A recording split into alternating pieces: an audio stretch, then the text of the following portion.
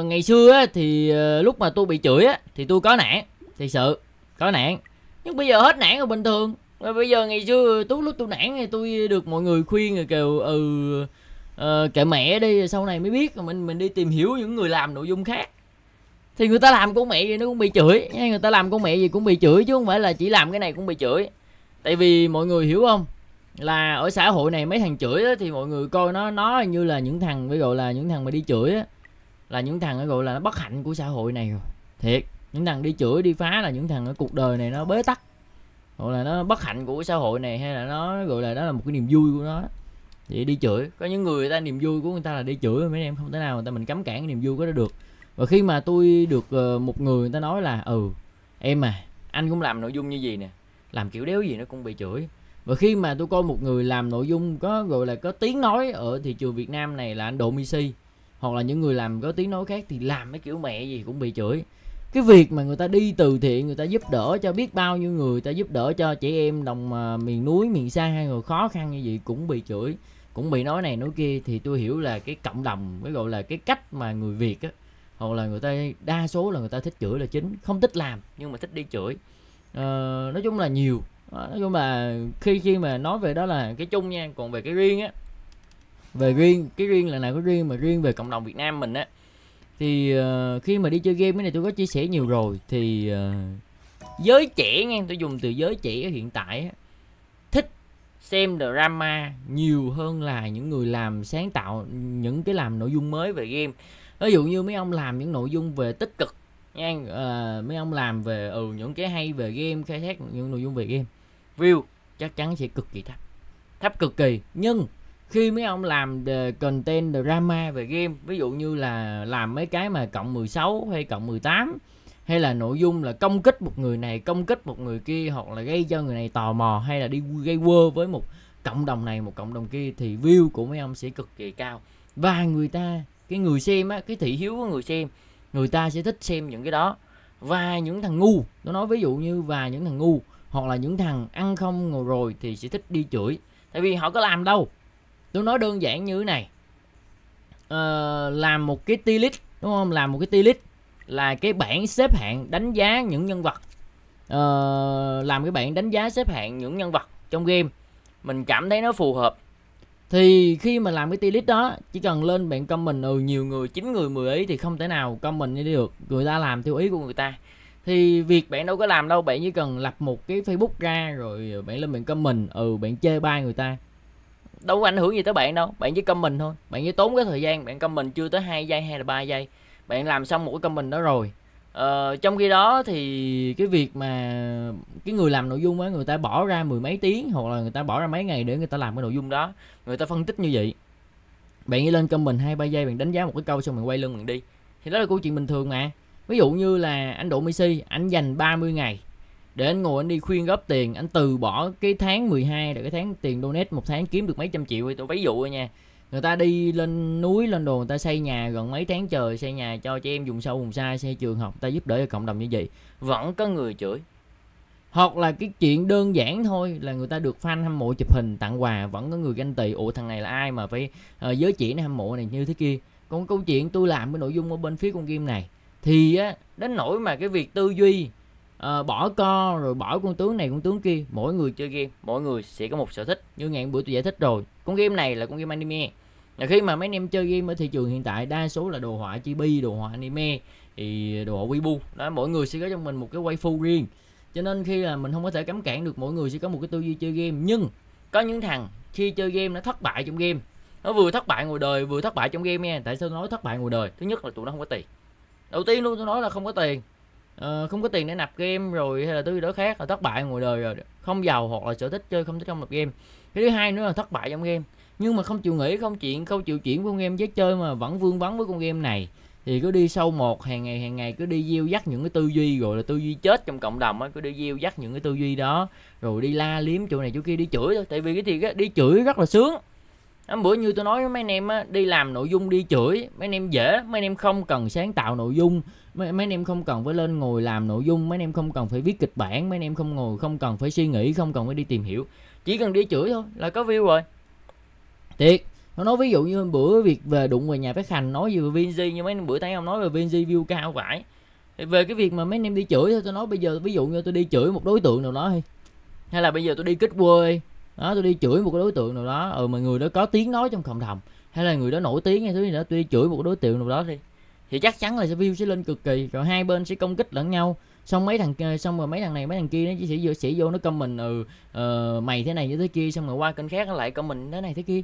Đó thì cái việc mà cái cái cái gọi là cái nhu cầu ở ờ, cái nhu cầu mà người xem ở thời điểm hiện tại là người ta thích đi xem chửi nhiều hơn là cái đối tượng trẻ. Còn cái đối tượng già đối tượng già thì người ta chỉ cần quan tâm tới gì? Gameplay game này chơi thế nào? Ừ chơi làm sao? Nạp tiền sao? Chơi hiệu quả không? Chơi hay không? Làm sao để chiến thắng? Làm sao để hơn thua? Còn với trẻ là ừ làm sao để đi chửi nhau? Làm sao để gây quơ? Ừ làm sao không nạp tiền nhiều vẫn mạnh? Đó, làm sao đó không cần chơi nhiều vẫn mạnh? Game chỉ cần bỏ đó một ngày, một tuần vô game một lần thôi vẫn khỏe nghe, đó là cái sự, gọi là cái sự khác biệt giữa khi mà mấy anh em chọn cái nền văn minh giữa game. Game bây giờ sẽ có rất nhiều đối tượng khi mà chơi chơi game. Quan trọng mình target vô cái đối tượng nào mình làm. Ngay ngay từ đầu á, tôi làm cái này á là tôi khi mà tôi làm con game này nè, hoặc là nghĩ xưa tôi làm thế giới hồng mỹ á là cái mục đích tôi để lưu trữ lại cái quá trình tôi chơi game và tôi chia sẻ cái ờ, tôi chia sẻ cái cái việc mà tôi chơi con game này, tôi trải nghiệm tôi sẽ chơi như thế nào. Và ngồi ra nữa, khi mà tôi xây dựng cộng đồng discord đó là tôi có người chơi game cùng với tôi, không game này thì game khác. Đấy, cho nên là khi mà tôi làm á, tôi không ngại va chạm, nha, tôi không ngại va chạm. Ừ đụng là trụng đụng là chửi thôi, đâu có sợ đâu. Thích thì mày phải cọt vô đây mày nói chuyện với tôi, tới bây giờ khi mà tôi làm con game này 3 năm. Nhưng tôi làm con game này 3 năm, chưa có một ai nha, chưa có một ai, trừ anh Hà Neuber thôi, anh Hà Neuber là vô tranh luận một cái số vấn đề linh tinh cho vui thôi. Chưa có một thằng anti nào, gọi là dùng từ anti đi cho nó sang một tí. Bây giờ cũng kênh cũng bự rồi, dùng từ anti đi nó sang tí. Rồi chưa có một thằng anti nào hay là những thằng chửi tôi trên cộng đồng, hoặc là chửi tôi trên mạng, hay là chửi tôi trong một group, vào nói chuyện trực tiếp với tôi hết đó như mấy thằng nhóm bên Silver á, ngày xưa chửi tôi chẩu vô đây ngồi nói chuyện với tôi tư duy ngu chích mẹ luôn. Ngày xưa khi mà chơi bên Silver Sea về ừ Kabuto sẽ là mạnh, Kabuto sẽ là IDBS ấy ờ, kiểu con chạy về Silver Việt Nam sẽ phế rồi, con này về sẽ phế phế này, phế kia đó. Xong rồi khi mà về Việt Nam, mấy con đó chơi lâu vải đạn luôn. Mẹ ba, trừ riêng con đồng đế ra nha. Đó riêng con đồng đế ra, đó, kêu con đồng đế ra là câu tơ Tatsumaki đồ cái kiểu. Xong về Tatsumaki nó vẫn bóp trường lực chín, sáu con là chuyện bình thường. Cho nên nó là sẽ là, nó sẽ là có những câu chuyện khi mà mấy anh em chơi, trải nghiệm thực tế và mấy anh em sẽ hiểu nha mà khi mà mấy anh em chơi á, là ở trên đây á, mấy anh em nào mà tầm cũng cỡ tầm 25 trở lên á tầm cỡ tầm 25 trở lên mấy anh em coi tôi thì nó là bình thường. Ừ được drama gì kể mấy anh em chứ quan tâm khi mà mấy anh em coi tôi coi tôi ở đây là gì coi gameplay. Ừ kêu coi ông này chơi game như thế nào ông này cũng phân tích game như sao. Cái con mà ông quay tướng về bây giờ mình quyết định mình đầu tư một con tướng đó mình bỏ 180 ví đen ra thời gian mình cày hoặc là dùng tiền mình mua. Thì ông này ông chơi con tướng đó ông vận hành như sao ông vận hành kỹ năng như thế nào cách ông chơi như sao ông chia sẻ người ta chỉ quan tâm tới gì gameplay còn những thứ ừ ông đi chửi ông đi chửi ngồi đời hay là em gây quơ hay cái gì đó ổng cũng như bao người bình thường cả mẹ đó. Ổng làm làm gì làm mình chỉ việc xem gameplay chơi như thế nào. Ừ tin tức game như sao siêu và chung như sao siêu và si như sao siêu và nhật sao và siêu và việt như sao.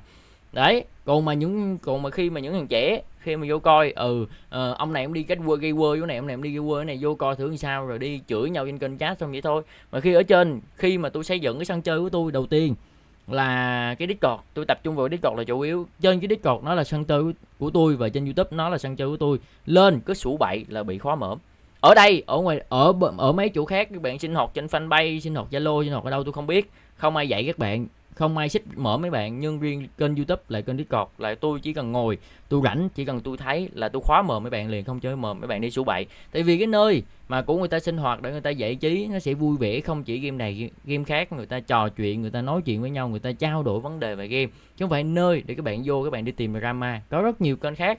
Người ta xây dựng theo kiểu drama nè người ta xây dựng theo kiểu tục tiểu nè người ta xây dựng theo kiểu là cái content mà đi trái ngược lại với cái luân thường đạo lý á, thì nó sẽ phát triển nhanh hơn nó phải đi nhanh hơn. Nhưng mà làm cái kiểu đó nó không bền nha nhưng mà làm kiểu đó nó không bền tại vì làm kiểu đó các bạn đi làm theo kiểu KOL sáng tạo nội dung để các bạn thu hút người xem rồi. Còn tôi dưới đây là các bạn nhiều người ta suy nghĩ tới bây giờ nhiều người vẫn bây giờ người ta xem tôi.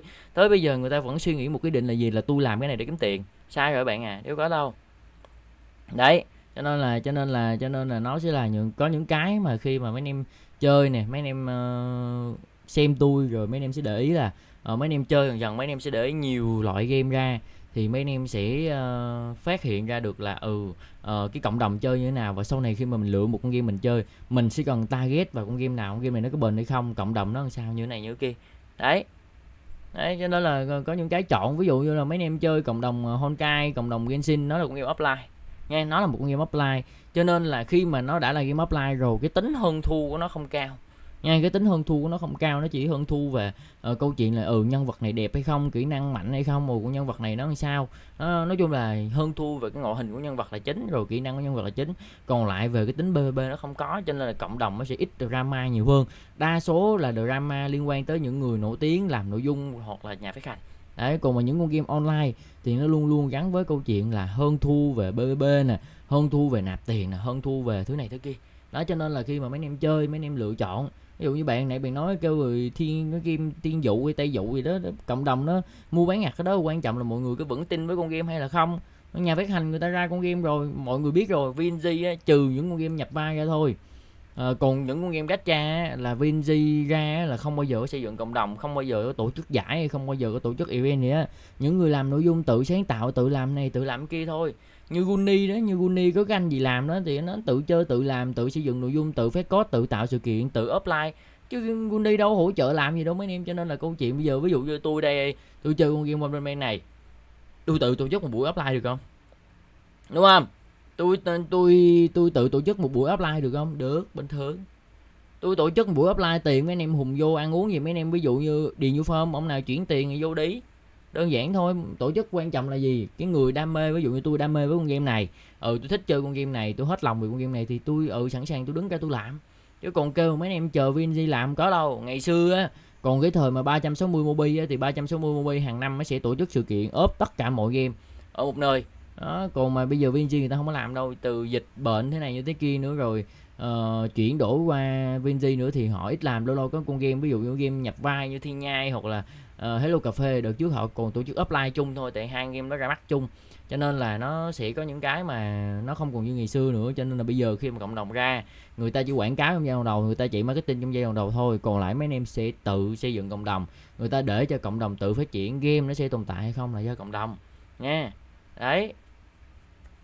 À, chứ không phải là là cái việc mà ở đây mấy anh em kêu ừ uh, nhà phát hành ta không quan tâm ủ không quan tâm gì bay thì tự chạy còn lại các bạn tự làm thôi. Nhé đấy.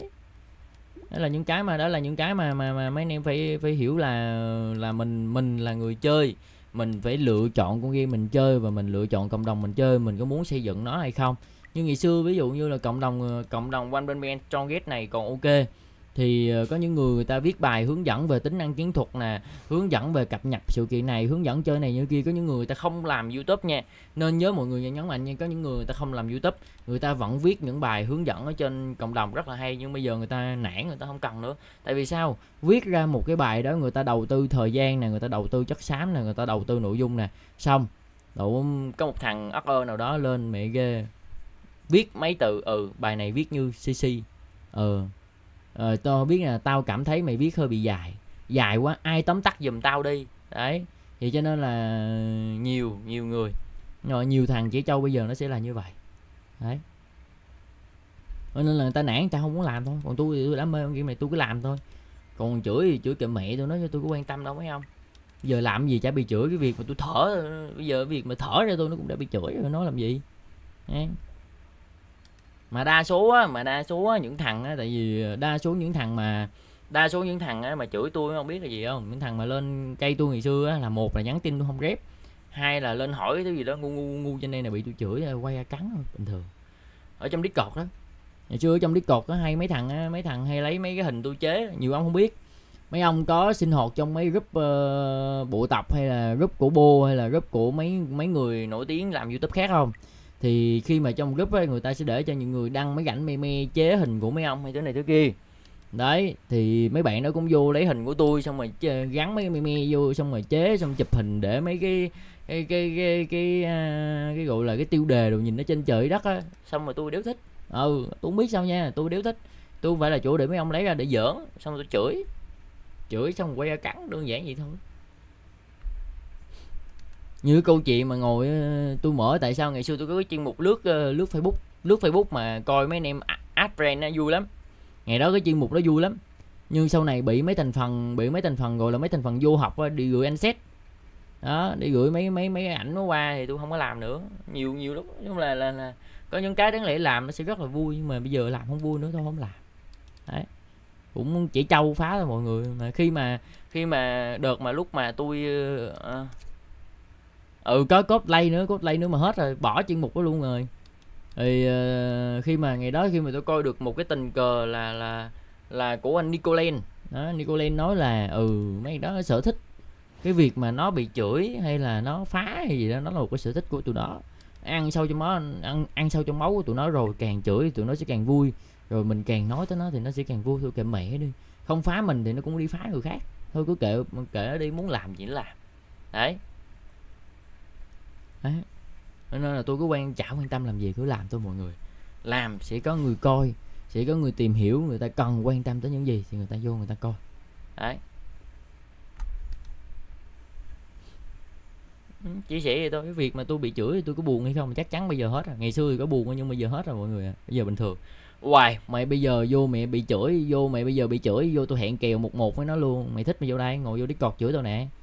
Vô đây cũng thích ra hẹn ra ngoài luôn. Trời ơi đấy. Cũng thôi, xong rồi tối tôi vô bây giờ tôi có nhiều thứ để làm. Bây giờ ví dụ như tôi không chơi con game này nữa đi. Khi mà tôi tắt cái màn hình like này xuống, tôi vô trong discord, tôi ngồi tôi chơi valorant với mấy anh em tôi. Đấy. Xong rồi tôi ngồi tối, không thôi tôi ngồi tôi like liên minh. Tôi ngồi tôi chơi liên minh. Đó, tôi ngồi tôi chơi liên minh với mấy bạn trên kênh chat, hoặc là tôi chơi liên minh với mấy bạn viewer. Hoặc là không chơi liên minh, không chơi valorant luôn, tôi đi chơi những con game offline đó, đơn giản thôi sẽ có nhiều gọi là sẽ có nhiều cái mà để tôi chơi. Bây giờ tôi có cộng đồng rồi. Trời discord một ngàn bảy người đó rồi mọi người. Cái discord là cái discord là bây giờ là một ngàn bảy trăm năm người đó. Nãy tôi mới chết đó 1750 người rồi. Thế nào à, hai ngàn người tôi sẽ có giveaway mấy mọi người. Sẽ có sự kiện chúc mừng được à, hai ngàn hai ngàn member trong Discord. Hoài wow, một cái thành tựu lớn vải đạn luôn á. Rồi đó. chia sẻ thôi mấy anh em. Bình thường tôi chỉ có mệt đó tôi chỉ có bây giờ tôi với vấn đề mệt là gì? Mệt là vấn đề cơm áo gạo tiền thôi chứ còn mà mệt về lấy làm này không nha. Tôi làm này mấy ông mệt nè, tôi nhiều lúc tôi ngồi tôi mệt trên đây là do tôi đi làm gì tôi mệt thôi. Nó còn không nản về game đâu, game bình thường mấy nè. Đấy. Đấy đó là, là là là tôi đi làm thì tôi mệt tôi ngủ dậy ngủ dậy chưa lên mút lại nó mệt thôi chứ chứ còn mà bình thường thì chắc chắn tôi vẫn một một ngày nè một mỗi ngày mà tôi còn chơi con game này là mỗi ngày tôi còn đam mê. Mỗi ngày mà tôi còn vô discord tôi còn đam mê với game mà tôi còn nhiều thứ vui game. Còn anh em bạn bè ngồi một đống trong discord ngồi bắn valorant đây nè đó ngồi bắn valorant nè. Ví dụ như tôi ngồi tôi vô tôi ngồi coi thằng thiên bắn valorant nè. Hello thiên. Sao anh? Hello anh. Hello anh. hôm nay em tính làm bao nhiêu chuỗi trận thua Ôi anh ơi, đang thắng này thua Rồi, gì hai ok ok. Anh ở bằng bắn, danh anh ơi. Bắn danh mấy hạt thì bắn trường không sao ấy. ok ok. Đó mấy ông thấy không? Đó chỉ cần vậy thôi. Đó niềm vui của tôi nó đơn giản vậy thôi. Mấy anh em ngồi coi mấy anh em tôi ăn hành là hạnh phúc rồi. Đấy nó đơn giản thôi. Mọi người đừng có suy nghĩ chi cho nó xa đó bây giờ tôi có cộng đồng discord rồi. Đó không liên minh thì cũng valorant không valorant thì cũng đi quýnh cờ không quýnh cờ thì chơi mấy con game co-op với nhau. Đấy, hoặc là đi kiếm một con game gì đó mới chơi với nhau, vậy thôi.